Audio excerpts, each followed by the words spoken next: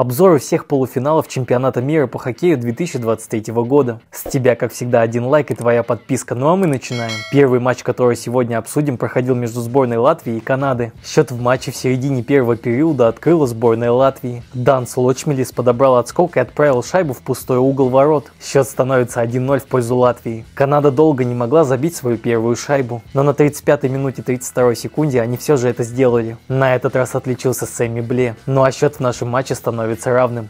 Но меньше минуты понадобилось сборной Латвии, чтобы вновь выйти вперед. Рудольф Балцер сделает счет 2-1. Больше заброшенных шайб во втором периоде не было, поэтому переходим сразу к третьему. И в самом его начале Канада забивает вторую шайбу в этом матче. На этот раз отличился Джек Куин. Ну а счет уже становится равным 2-2.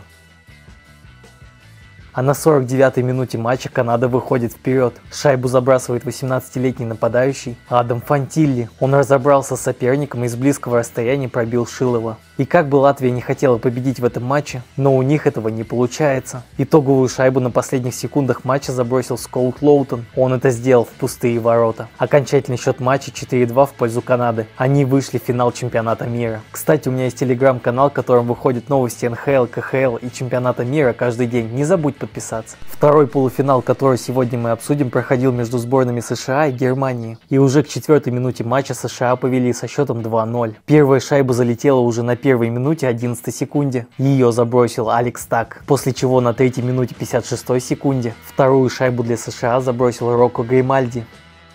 Однако Германия просто так не сдавалась. На 12 минуте 22 секунде они забросили первую шайбу. На этот раз отличился Фредерик Тифельс. Ну а на 16 минуте первого периода они сравняли счет. Шайбу забросил Максимилиан Шубер. Во втором периоде была заброшена только одна шайба. На 28 минуте 47 секунде США повели со счетом 3-2. На этот раз отличился Майки Эйсимонт. Но самое интересное, что немцы сняли вратаря за полторы минуты до финальной сирены. И в формате 6 на 5 они забили и сравняли счет счет в этом матче. Шайбу забросил Марцель Нёбельс.